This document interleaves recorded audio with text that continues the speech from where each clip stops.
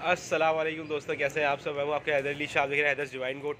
तो दोस्तों, जैसे कि आप लोगों को पता है, सर्दी बहुत ज़्यादा है इस वक्त, और कराची का टेम्परेचर जो नॉर्मल से ज़्यादा हो चुका है, जो कि सर्दी सर्दी कराची में होती नहीं है।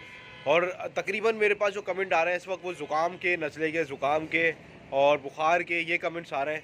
इसके अलावा कोई बात नहीं कर रहा दूसरा, हर बंदा यही बात कर रहा है। दोस्तों, सबसे इम्पोर्टेंट चीज़ आप बकरे को कभी बचा नहीं पाएँगे अगर आपने ये काम नहीं करा। आपने अगर हवा नहीं रोकी ना अपने, जहाँ भी आपके बकरे हैं तो आप अपने बकरा नहीं बचा पाएँगे। अगर आप, सबसे पहला इंतज़ाम आपने ये करना है, सेफ़ जगह और खुश्क जगह। कभी भी मतलब ऐसी जगह ना हो, जैसे फ़र्श पे पालते हैं जानवर। सही है? अब क्या होता है, फ़र्श पे जब गीला होना शुरू हो जाता है फ़र्श तो वो नीचे से गीला हो जाता है, जानवर बैठता है तो सबसे ज़्यादा ठंड जो होती है, वो सीने से उसको चढ़ती है जानवर को। और बकरे जो होते हैं दोस्तों, बहुत नाजुक चीज़ है ये। ये बहुत नाजुक होते हैं इनका ख्याल, अगर आपने सबसे पहले तो अपनी जगह इनको अगर सिक्योर नहीं दी सर्दी में तो मैं बता सकता हूँ, बड़े से बड़ा डॉक्टर हो, बड़े से बड़ा उस्ताद हो बकरे नहीं संभाल पाएगा आपकी अगर बीमारी में आएँगे सर्दी में तो। क्योंकि सबसे, क्योंकि जब जानवर ऐसी बात है, जब आप उसको जगह अच्छी नहीं देंगे, वो स्ट्रेस में आएगा, बीमार होगा, सर्दी अलग से लग रही होगी, सही है? और इम्यूनिटी जो होगी, उसकी कम होती जाएगी। सबसे इंपॉर्टेंट चीज़ तो ये है, फ़िलहाल आपने जो करनी है, हवा का रुख जो है, आपने सबसे पहले तो नोट करना है, हवा का रुख कौन सा है? जैसे कि कभी अलग रुख पे चलती है हवा, कभी अलग रुख पे चलती है तो आपने ये देखना है कभी भी सामने से आके हवा जानवर को ना लगे। दूसरी चीज़ जो बहुत इंपॉर्टेंट है, और आवाज़ के लिए थोड़ी माजरत, मेरी भी तबीयत थोड़ी नासाज है, और दूसरी चीज़ ये कि आपने अपने जानवरों को देखना है कि सर्दी में कौन सा जानवर आ रहा है। सबसे इंपॉर्टेंट चीज़, गब्बन बकरी के अलावा, जो प्रेग्नेंट बकरी है, उसके अलावा जो भी जानवर हैं आपके पास, उनको आपने एक कावा बना के देना है, जो कि अजवाइन और गुड़ का गुड़ का कावा होता है, जो मैं बहुत दफ़ा बता चुका हूँ पहले भी। अभी भी आप लोगों को बता रहा हूँ, बना के दिखाने की ज़रूरत है नहीं, क्योंकि दस दफ़ा बता चुका हूँ।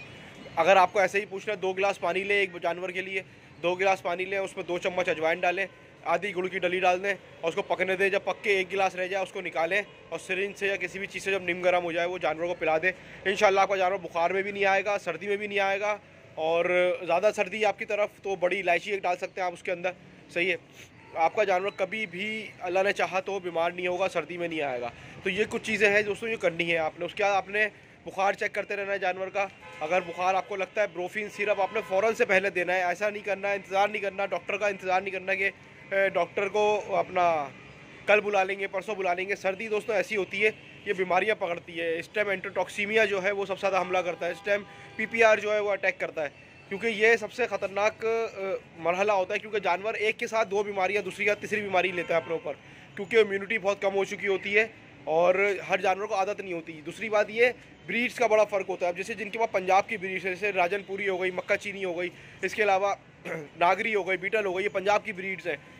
इनका कराची में, सिंध में रखना थोड़ा सा इस टाइम डिफ़िकल्ट होता है क्योंकि इनका मौसम जो होता है, वो चेंज होता है हमारे से। इस इसी लिहाज से देखा जाए तो सिंध की जो ब्रीड है, जैसे कि मेरे पास जो बच्चे हैं, सिंध के हैं, वो थोड़ा सा एब्जॉर्व आसानी से कर लेते हैं इस मौसम को, क्योंकि वो यहीं के पले बड़े होते हैं, वो यहीं के उन्होंने हमेशा से बचपन से देखा है माहौल। तो आप लोगों ने थोड़ा सा ये एहतियात करनी है, अगर आपके जानवर बाहर के हैं मतलब अगर सिंध के जानवर आपने पंजाब में रखे तो ये सेम फार्मूला आप पे काम करेगा। इसी तरह से इंडिया में आपने अगर किसी और शहर के, किसी और सूबे के जानवर आपने रखे हुए क्योंकि वहाँ का एटमॉस्फेयर वहाँ का मौसम अलग होता है, यहाँ का मौसम अलग होता है तो सारी चीज़ें जो है दोस्तों हमें देखनी होगी, पानी, खाना, सब कुछ अलग अलग होता है। तो ये सारी चीज़ें देखनी है आपने, और रिस्क नहीं लेना जानवरों पे। सही है? जाबन बकरी है, उसको सर्दी हो रही है तो आप उसको गुड़ खिला सकते हैं। अजवाइन नहीं खिलानी आपने, अजवाइन खिलाएँगे, हो सकता है, खुदा ना खास्ता गर्मी ज़्यादा हो तो वो उसका बच्चा भी गिरा सकती है अपना। तो ये कुछ चीज़ें हैं दोस्तों जो अगर आप ख्याल रखेंगे तो आपके साथ जो है वो परेशानी नहीं होगी। ब्रोफिन सिरप आपने देते रहना है। हर एक दो दिन बाद दें बीमार नहीं भी लग रहा, बकरे को पाँच सी पिला दें आप। कोई परेशानी नहीं होगी, कोई उसका नुकसान नहीं है, सही है? बकरा एक्टिव भी हो जाएगा आपका। इस वक्त कोई भी काम बकरों के साथ ऐसा नहीं करें जो उसे तकलीफ़ दे सकता है। और हवा से बचा के रखें सबसे इंपॉर्टेंट चीज़। इसके अलावा कोई बात पूछनी हो, कोई मैसेज करना हो कमेंट करें आप मुझे। नहीं कर सकते H I D R dot A dot S H A H Haider dot A dot Shah Instagram पर मैसेज कर सकते हैं आप मुझे। और मुझे बता सकते हैं किन टॉपिक्स पे वीडियो बनानी है। अगर आप लोग कोई ऐसा इशू है जो समझ नहीं आ रहा है तो इंशाल्लाह उस पर भी वीडियो बनाएँगे। फ़िलहाल सर्दी से बचाने के लिए इंतज़ाम करें। सर्दी बहुत ज़्यादा है, बारिश ने जो है ठंड को बहुत ज़्यादा बढ़ा दिया है। और जैसे कि कल से सानिया हुआ है, मरीब है, उसमें भी बहुत अफसोस है और जितने भी लोग मरहूमिन हैं, उनकी मगफरत की दुआ करेंगे अल्लाह ताला से। अल्लाह उनको जन्नत में नसीब करे कि घूमने गए थे, बेचारे घर नहीं वापस आ पाए। लेकिन आप देख सकते हैं, सर्दी इस तरह का तूफ़ान मरी में भी पहले नहीं आया था इतनी करीब में, आठ सालों में। लेकिन आप देख सकते हैं, सर्दी जो है पूरे पाकिस्तान में बहुत ज़्यादा हो रही है। पंजाब हो या सिंध हो या कोई भी सूबा हो, सर्दी बहुत ज़्यादा एक्स्ट्रा ज़्यारत में बर्फ़ बहुत ज़्यादा गिरी है बलूचिस्तान में। तो बस थोड़ा सा एहतियात करें। और बाहर निकलने से थोड़ा सा परहेज़ करें और जानवरों का खास ख्याल रखें। ये बोल भी नहीं सकते और ये दुआ भी बहुत देंगे। अगर ये सर्दी से मर गए तो इसका सारा अजाम हमारे ऊपर है। सही है दोस्तों? तो एहतियात करें, बाकी तो ज़िंदगी बहुत अल्लाह के हाथ में एहतियात करना हमारे हाथ में। एहतियात करें।